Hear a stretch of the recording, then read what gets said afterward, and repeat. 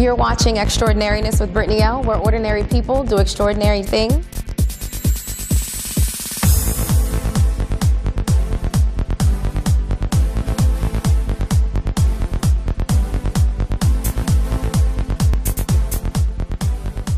Today I'm at the Klein Sun Gallery in New York, New York with Li Hongbo and his interpreter Willem Molesworth, and we're going to look at his piece, Tools of Study. So thank you both for joining me today.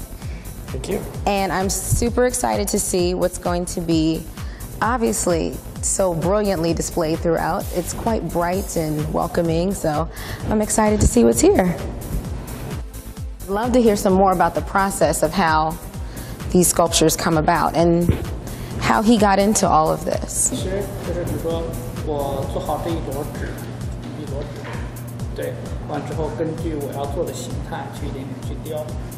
What he first does is he creates um, and stacks sheets of paper to create a large enough block. Once he has a large enough block of paper, um, he's able to go in and sculpt what he's what he's thought about creating. Have you always worked with paper? As far as your business or profession, what were you doing before you were sculpting?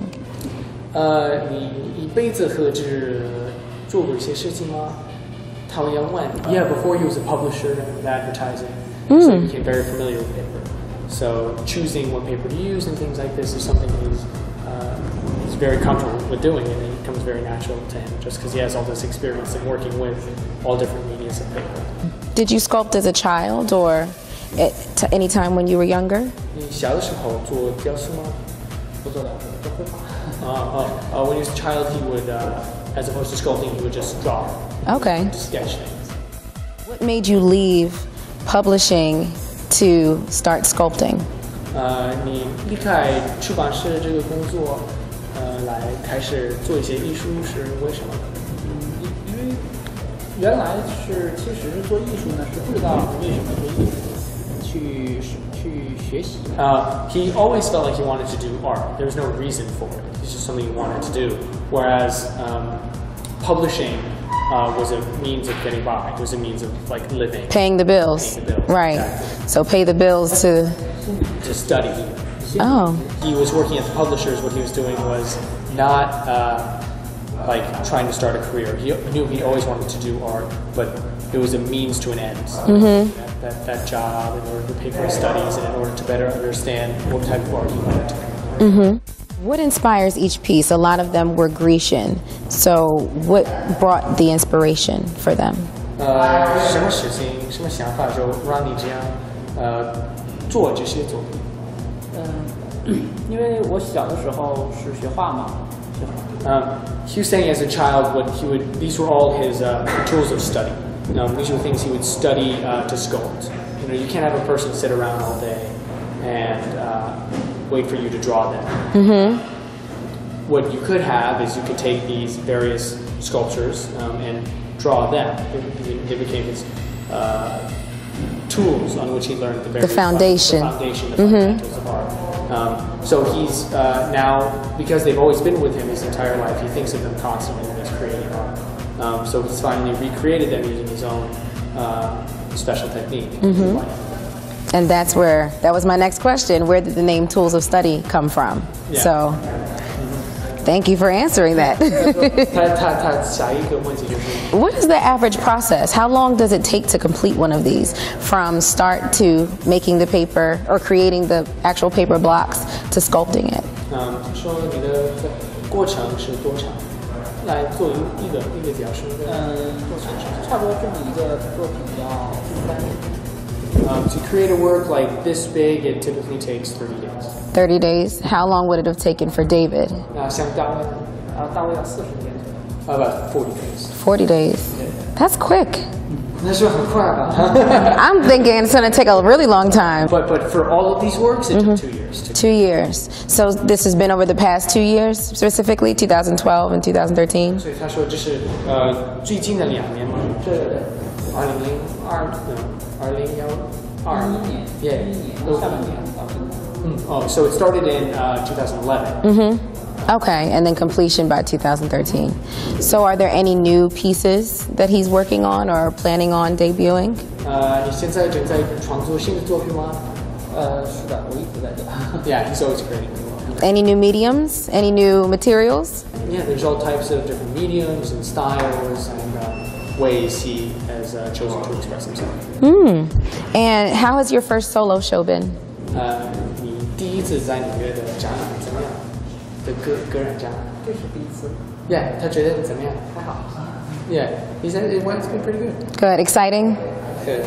那你很也很激场，那还是很激动吗？哎呀，很平静。 Uh, no, he's been very level-headed throughout the whole thing. Oh, that's good. Yeah. I would be very overwhelmed because it's just, I initially thought they're very delicate and they're very actually very solid. So, you know, I'd be nervous if people were near them, but that's good. Good to be level-headed. Yeah, it's yeah. better than me. With them being very stable, what was the most difficult piece to create? I know he said there needs to be a center you have to pay attention to. So I would think it was a heavier sculpture, but what was the most difficult for him? The bust of Versailles. The bust of Versailles. Mm -hmm and that because of the beard and the hair. Yeah. Mm. Because the, the, the various changes throughout his um, body, like his beard coming out and his hair flowing everywhere. The most difficult to sculpt, just because it was so variable, the piece was everywhere. Mm-hmm. One thing I do want to do, I would love to get a demonstration and he could help me lifting or showing how we are going to maneuver David. Can we do that? OK，他他问那你们两个能不能呃拉出来这个大卫，在一起可以拉吗没问题。 ？Yeah. Ready? Okay. I don't want to. Do I do I need the gloves or I'm good or? 呃，对他你要不要他呃戴这个手套？呃，可以。呃，he says you don't need it. Okay. Is this really? That is really heavy. Oh. oh my gosh. How do you hold that? I would crumble under the weight. I'm just gonna touch up here. He's got a big head. I can say that for sure. and you're very strong. Indeed, indeed, indeed. How many sheets would be in this, David? Uh, There's a certain amount per block. Mm -hmm. So we see how many blocks. Uh, he was saying about um, 8,000 sheets of paper. Um, wow. 8,000 sheets, that's a lot of paper. That's a lot of reams if you had them in an office. Wow. No, he's saying it's not just because he's, he, he's the one creating these sculptures that makes paper so uh, variable. Paper has always been been able to be used like this. Mm -hmm. So there, there are people working with paper right now who are also doing incredible things. Wow, you're very humble. I appreciate that. And if you had to say anything to inspire someone who is maybe watching this in the future, what would you say to give them inspiration to follow their dream, to do whatever it is the art that is that they that is their passion? 你要不要对他们说什么呀？其实，呃，做艺术或者做什么，其实每个人心中都有梦想。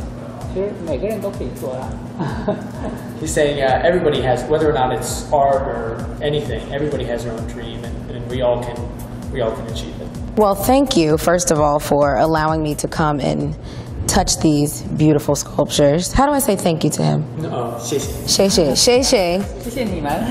thank you. These are absolutely beautiful and honestly the definition of extraordinary. To take a medium such as paper and where most will paint or draw, to turn it into a life like 3D version of something we classically see. So, thank you for being an extraordinary person and creating something so wonderful. The Klein Sun Gallery is located in New York, New York at 525 West 22nd Street, zip code 10011. Speaking of fashion, I had so much fun on the day that I spent with Brian Robinson of BDR Styling. This celebrity stylist from Baltimore, Maryland, has worked with clients up and down the East Coast, including Erica Mena from Love and Hip Hop New York.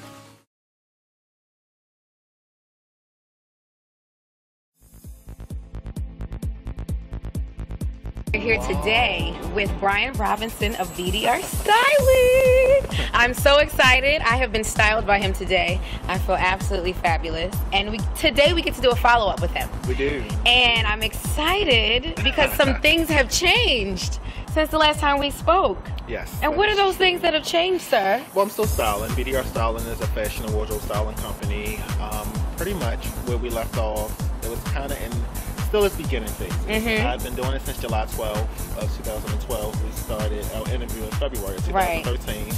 Um, since then, actually, within that month, I was actually introduced to Erica Mena of Love and Hip Hop New York. Okay. actually I remember a little bit of that coming out. Yeah, before. yeah. So that was pretty cool. I actually began the process of styling her. First project was for her book cover. mm-hmm. Um, underneath it all. Oh, I like that. That dress. Yeah. Ooh, that was a good one. Uh, Mhm. Yeah, it was really a great option. I think that it's always good to listen to the cues of exactly where a client is looking to go, Mhm. even if it's taking them out of their realm, Mhm. because you want to be able to provide that element of surprise. Mhm. And it being her first book, no one was really expecting that. Mhm. Um, but besides that, it's been about building my portfolio. Definitely working with her continuously. After the book, I was actually brought on as her stylist for Love and Hip Hop New York. Bravo. Yeah. Yes. Yeah, Round of really cool. applause. That's awesome. Yeah, I mean, it was pretty cool. I mean, it gave me the ability to really travel more and definitely have the capabilities of networking hmm to so many different levels, building so many relationships, and just really being able to perfect my craft. hmm I think Erica is a really good individual to really work with Mm-hmm. because the canvas um, is one that the entire world will see, and she takes direction really well. And she's So- and I've seen her in a couple different things where it's been something that I necessarily would have never even thought that she would wear, but she looks phenomenal. And it's like a different look or a different kind of accent here or there that she has. And I'm like, oh, it just turned it just perfectly a little bit one way or the other. So yeah, of course. you, And, yeah. You know, um, with Erica, it's one of those things where you know we have a great relationship. So it's kind of one of those things where it was kind of a tug of war at first. She has her initial style, and I Mhm. have certain envisionments of where I want to take her. Mhm. So it's all about really just having her let her guard down a little bit and really let me take full control of Mhm. styling, which is been really cool. You know, she's definitely in her own now. Mhm. Um, I've always gotten the accolade that a lot of individuals see a difference in her overall sense of style now. Mhm. And Kudos her- to you. Yeah, absolutely. Yeah, Absolutely. Um, and her overall being. But, Mhm. you know, that's what BDR styling is. What BDR styling has always been about three essential components, which is envision, create, and transform. Mhm. And that's what I always stick to. You know, I've always had this envisionment of exactly where I wanted to take my clients. Mhm. After really honing in exactly where I want to take them, create that look, and then after that, they're absolutely going to be transformed into what I feel as if is the ideal look for their image. Yeah, I didn't think as even we put this See, together today. This is not something that I would typically wear. I would, yeah. I wouldn't there you go. necessarily see look, he's working. like he's got me all together. I would never necessarily think, first of all, if I went in a store and saw all of these different pieces separately. Yes. I might be like, oh that's cute or oh that's nice. But I would never see it put together and then think, that's what I'm gonna wear today. Exactly. So you do have an eye. You really have a gift that Yeah. like I can grab it and make it happen. Yeah, and the funny thing is, with this top that you actually have on, this crop, um, and it actually has a little bit of polyester and a little bit of cotton and a little bit of nylon. But as far as the the textile and the actual pattern, if you put it against different colored pants, for instance, when I put it against the bronze pants, it actually Mhm. brought out an undertone that was inside of the shirt Right. and made it pop more. Right. For instance, if you was to wear this top with more of the light turquoise, it would bring that color out a little bit more. Mhm. So all depending on exactly what you incorporate with an outfit, it can really change the shade of that overall ensemble. And, and one of the things that, you know, you're able to do when you can pick that one piece or this or that. Because I know that I could easily wear this shirt with something else or wear these pants with something else. But, you know, when you transition and you're working with somebody who is on television or this, they want to uh, give a certain appeal. I like that you're able to push a boundary that you may not have necessarily stepped into originally. Like, well, do I love dresses? I'm usually the dress girl. So having on pants and like they're kind of like a little short and having heels on, I'm like, I still feel like myself. But you gave me a new avenue to kind of, you know, work within. Absolutely. And like you said, Erica, she's kind of in a place now where I do see things that she wears. She does look very different, and it, it is very like I love the book cover. Like I remember, I think it was a purple dress. For that one, it was a black and white. It was black? Okay. It was black and white. You remember all the images though, because it was constant, constant, constant, just behind the scenes pics. And her second book is actually about to come out, which had a lot of different outfits. So Mhm. it's tons of video styling throughout the book. Oh. So it's gonna be really cool. um, published and whatnot. Go ahead, go ahead. and and now that you sit here, and I mean, we're what eight months ago. Yeah. We were having a conversation about. So these are things coming up. These are things I'm going to be doing, and now to actually be doing it. How does it feel? Like, how do you, you know, look back at the footage, and then you remember we were sitting on the steps of your childhood Yes. home, reminiscing about who you were and that moment of inspiration and when you felt free and the, the pole wasn't there anymore but that hole was still Exactly. there Yes. And- yes. so reminiscence of my childhood. right so how does it feel now looking at where you are It's scary. Really? It is. I mean, it's a good scary. And Mhm. you know, it goes back to that quote that if your dreams aren't big enough and you know if they don't scare you, then obviously you're not thinking large enough. And Mm-hmm. at the end of the day, what I'm doing to a lot of people may seem so simplistic that are not into fashion, but people want to be able to get their creative drive and their passion out there and really be able to infuse that on a public figure or Mhm. someone that they feel as if is going to really be able to get across that look that they have in their mind that they want to be able to provide. So it's been a scary roller coaster, but at the Mhm. same time frame, I've accepted it because this is what I asked for. Mhm. And you know, be end of the careful what you ask for because you just might get, get it, it. Absolutely. And you know, it's it's a blessing. At the end of the day, I just look at it as I initially didn't go to school for fashion merchandising. You know, Mhm. I initially did in the later years, but my passion to begin with was um, mass communication with integrated media, to be Mhm. a television host. okay So- oh you trying to take my job we I see what I see what it is now. He's like, yeah, I'm gonna slide on in. Go ahead, okay. Oh no. But you found your no, you found your gift. Like there's a um, quote that I um, put out that was just you know you can be taught skills, Yes. But you can't be taught gifts. Absolutely. And when you engage your gifts, that's where you can learn skills that will enhance it. Exactly. So a lot of people will engage so much time into I got to get this degree or this certification or this because they think that that's going to make whatever it is that they want. But your unique gift is that twang you put to it that spins it and then makes it like this. That makes it what Erica looks like. That makes it like what you have on right now because I want this shirt myself. But that's that's definitely what it is. You use your gifts and you definitely have. I'm so proud of you. I'm so glad I've been a part of this journey with you because it's just like I told you it's true. Put it in the universe, believe it, and say it, and it'll happen. that is absolutely true. And you're a living example of that right now. Yeah, and I appreciate all of the accomplishments and all of the opportunities that have come my way. And I think with me, I don't allow myself to really soak it all in because I'm always thinking about what's next. You know, Mhm. the next big picture, the next big project, the next big thing. Mhm. And at the end of the day, I think that working with Erica has been a wonderful, wonderful, wonderful experience because it's allowed me to showcase my work nationally and Mhm. open that door for so many more people to see exactly what BDR styling is. Mhm. And it's so much more than just me. You know, it's a company, it's a brand, Mhm. it's a way of life. And I really want to just take it all the way to the top. And with You well me- on your way, yeah. you know, it's like I just completely my key to success. I really feel like is just do you. Don't worry about what the next stylist is doing. Don't Mhm. try to mimic certain things. Just really go for what you feel is is your passion, your heart and soul, and infuse that. And the way I infuse it is through garments. You know, doctors do it through. You know, schooling to actually treat patients, lawyers, win cases. You want to be at the top of your game. For Right. me, it's about making sure that I can solidify a look and making sure that I can stamp it and get nothing but accolades that someone actually looks phenomenal and something that I've put together. I have to say that I am extremely proud of you.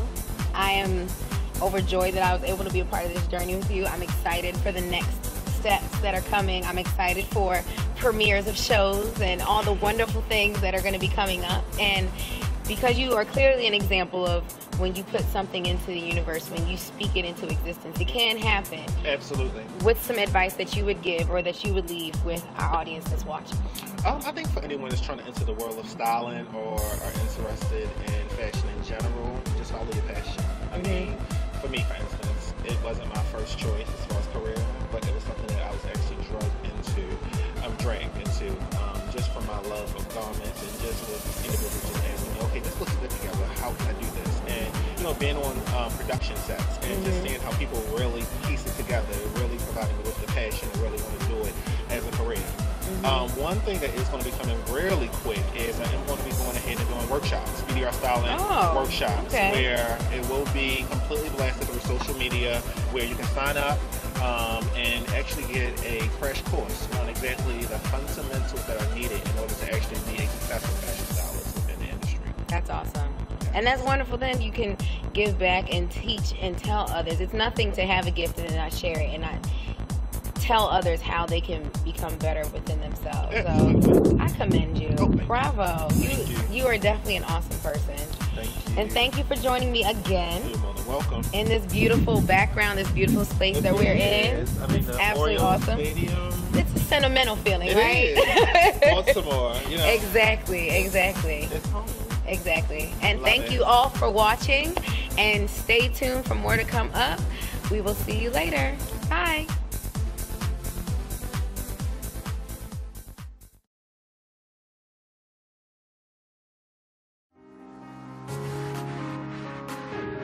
Of the people that I was honored to meet was Shay Sharp, who is the president and founder of Shay Sharp's Pink Wishes. This breast cancer organization grants wishes to women who are diagnosed with terminal breast cancer.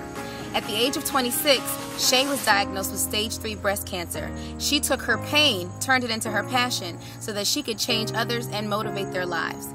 Let's see a clip. This is Extraordinariness with Brittany L, and I am here with the lovely Shay Sharp of Shay Sharp's Pink Wishes, and we are talking about ordinary people doing extraordinary things. And the lovely lady to my right is going to share with us what makes her so extraordinary. On another episode this season, I met a very special little girl by the name of Zora Ball and her parents, Curtis and Jackie Ball.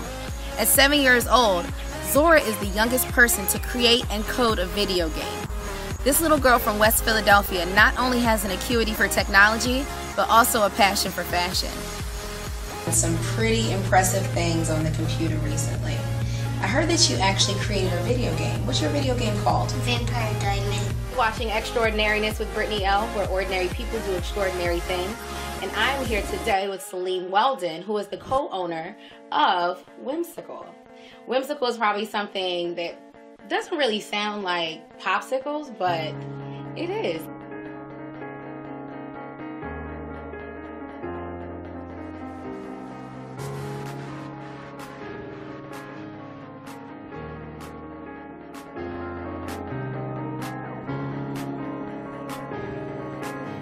Someone you know is an extraordinary person and you'd like to be featured as a guest on Extraordinariness with Brittany L, send me your information at yourlifewbe at gmail.com and visit xobeonline.com. Bye.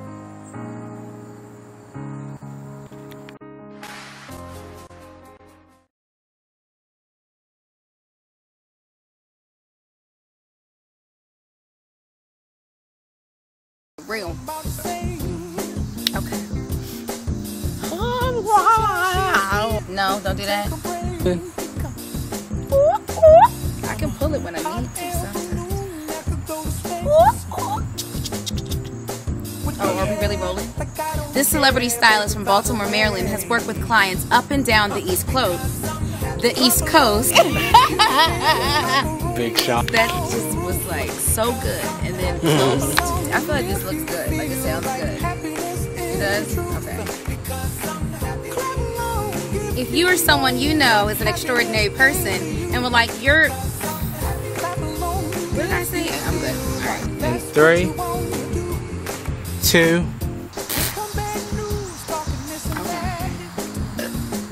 Are you taping this? and You sure? I'm positive. Okay.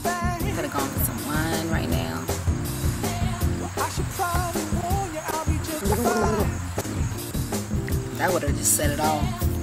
felt the dry. Are you filming? You probably are, liar. You know how you feel that dry, like you about to cough and your eye going water? No, don't do that. If you are someone you know is an extraordinary person and you'd like to end book this. Hey everybody, this is Brittany L from Extraordinariness with Brittany L, where ordinary people do extraordinary things. I wanted to give everyone out there a close little glimpse. What, is wrong? No, don't do that. Okay.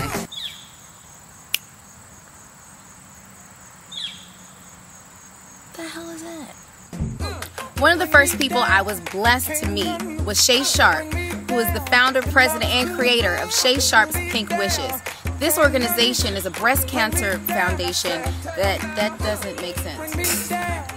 Are you videoing right now? I should be popping. No, don't do that. This is real life as it happens. Turn around like that glass of water was just there. Hi, everybody. We's in the country. You got the big old White House behind you.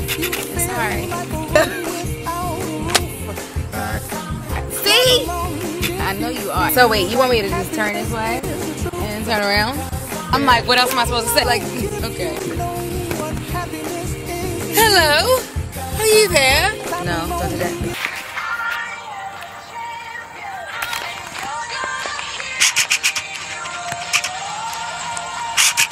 For real though.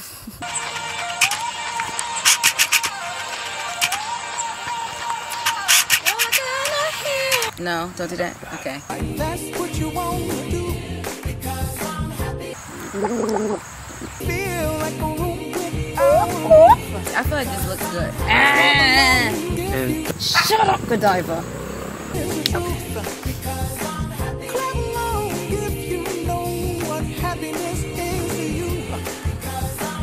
No, don't do that. If you feel like that's what you want to do. Oh, are we really rolling?